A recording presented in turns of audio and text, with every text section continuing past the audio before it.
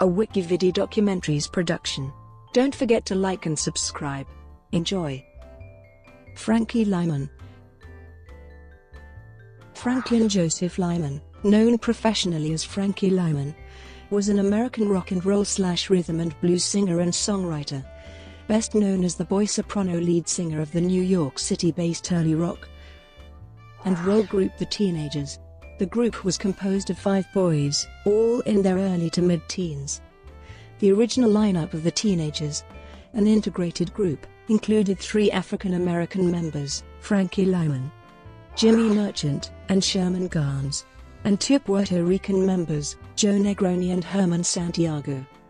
The Teenagers' first single, 1956's Why Do Fools Fall in Love, was also its biggest hit. After Lymon went solo in mid-1957, both his career and that of the Teenagers fell into decline. He was found dead at the age of 25 on the floor of his grandmother's bathroom from a heroin overdose. His life was dramatized in the 1998 film Why Do Fools Fall in Love? 1942-56, early life slash joining the teenagers. Lymon was born in Harlem, New York on September 30, 1942 to Jeanette and Howard Lymon. Howard was a truck driver and Jeanette was a maid. Both also sang in the gospel group the Harlemaires. Frankie and his brothers Louis and Howie sang with the Harlemaire Juniors. The Lymons struggled to make ends meet, so Lymon began working as a grocery boy at age 10. At 12 in 1954, Lymon heard a local doo-wop group known as the Coupe de Ville at a school talent show. He became friends with the lead singer, Herman Santiago, and he eventually became a member of the group, now calling itself both the Ermines and the Premiers. Dennis Jackson of Columbus, Georgia, was one of the main influences in Lymon's life. His personal donation of $500 helped start Lymon's career. One day in 1955, a neighbor gave the Premiers several love letters that had been written to him by his girlfriend, hoping to give the boys inspiration to write their own songs. Merchant and Santiago adapted one of the letters into a song called Why Do Fools Fall in Love? The Premiers, now calling themselves the Teenagers, got their first shot at fame after impressing Richard Barrett, a singer with the Valentines. Barrett, in turn, got the group an audition with record producer George Goldner. On the day of the group's audition, original lead singer Santiago was late. Lymon stepped up and told Goldner that he knew the part, because he helped write the song. The disc jockeys always called them Frankie Lymon and the Teenagers. 1956, Why Do Fools Fall in Love? Success. Goldner signed the group to Gee Records, and Why Do Fools Fall in Love became its first single in January 1956. The single peaked at number 6 on the Billboard Pop Singles chart and topped the Billboard R&B Singles chart for five weeks. Six other top blues 10 singles followed over the next year or so.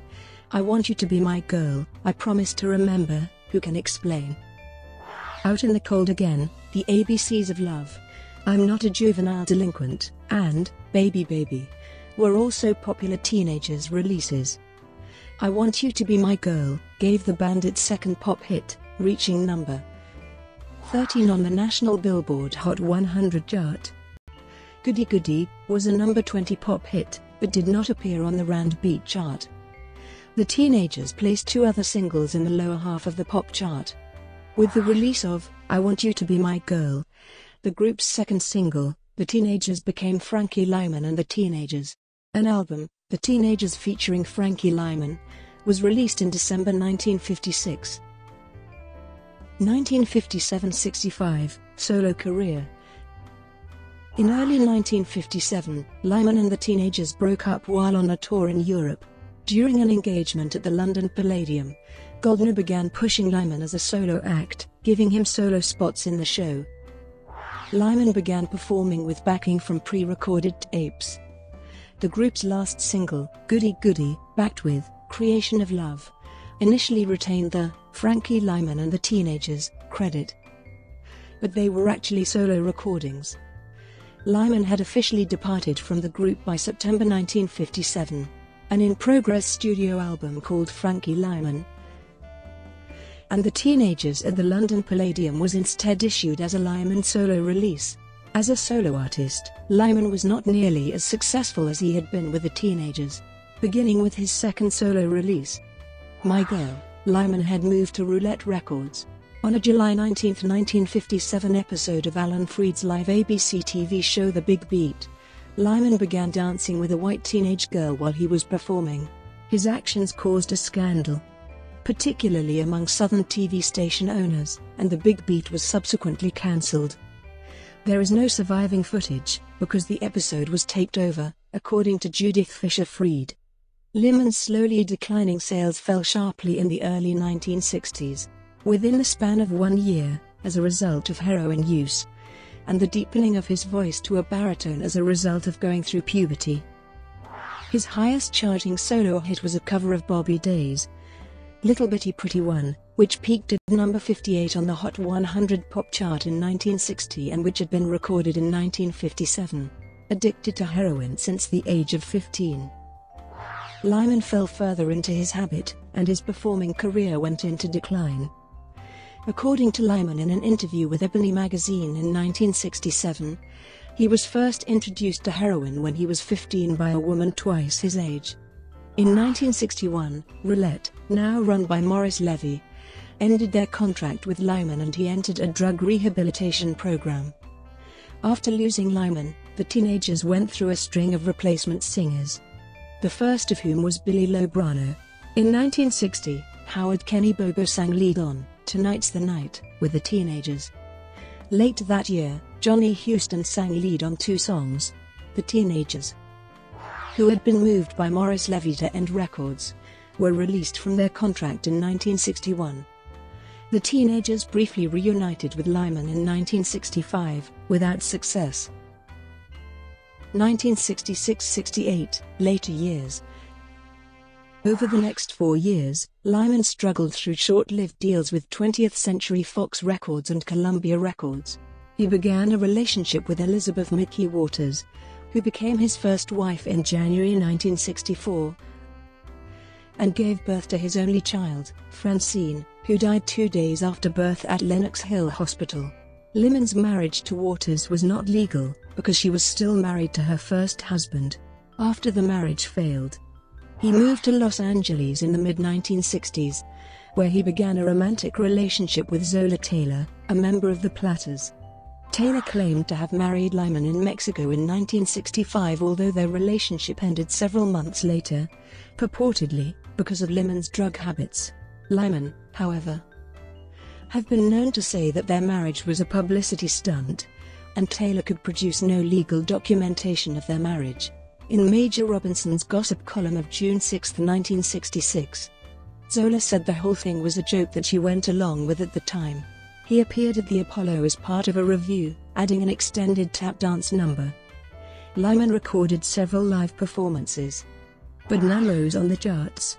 His final television performance was on Hollywood A Go-Go in 1965, where the then 22, or 23-year-old singer lip-synced to the recording of his 13-year-old self singing, Why Do Fools Fall in Love? On June 21, 1966, he was arrested on a heroin charge and was drafted into the United States Army in the lieu of a jail sentence. He reported to Fort Gordon, Georgia, near Augusta, Georgia, for training. While in the Augusta area, Lymon met and fell in love with Emira Eagle, a schoolteacher at Hornsby Elementary in Augusta.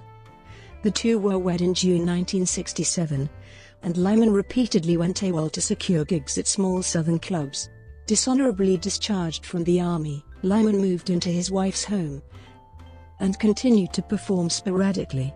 Traveling to New York in 1968, Lymon was signed by manager Sam Bray to his Big Apple label, and the singer returned to recording.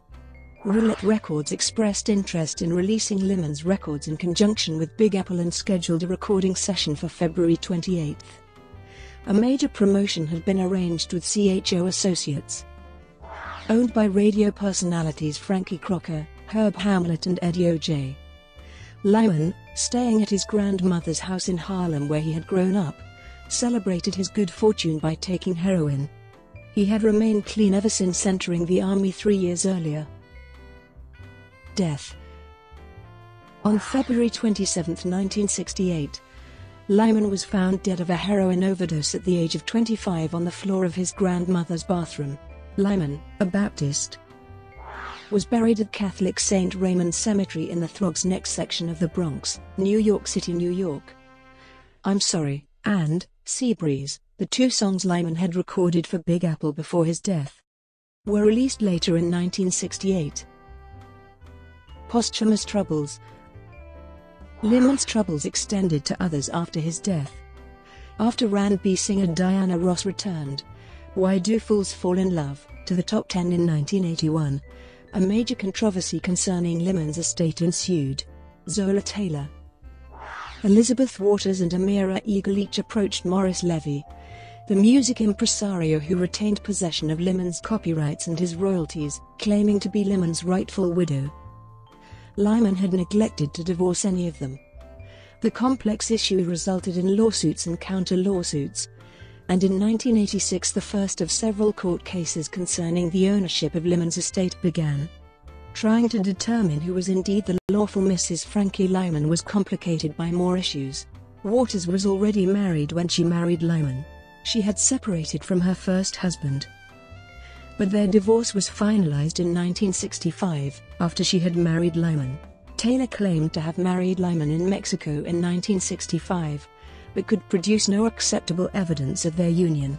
Lymon's marriage to Eagle, on the other hand, was properly documented as having taken place at Beulah Grove Baptist Church in Augusta, Georgia, in 1967. However, the singer was still apparently twice married and never divorced when he married Eagle. The first decision was made in Waters' favor. Eagle appealed, and in 1989, the appellate division of the New York State Supreme Court reversed the original decision and awarded Lymon's estate to Eagle. However, the details of the case brought about another issue whether Morris Levy was deserving of the songwriting co-credit on Why Do Fools Fall in Love. Although early single releases of Why Do Fools Fall in Love credit Frankie Lymon, Herman Santiago and Jimmy Merchant as co-writers, later releases and cover versions were attributed to Lymon and George Goldner.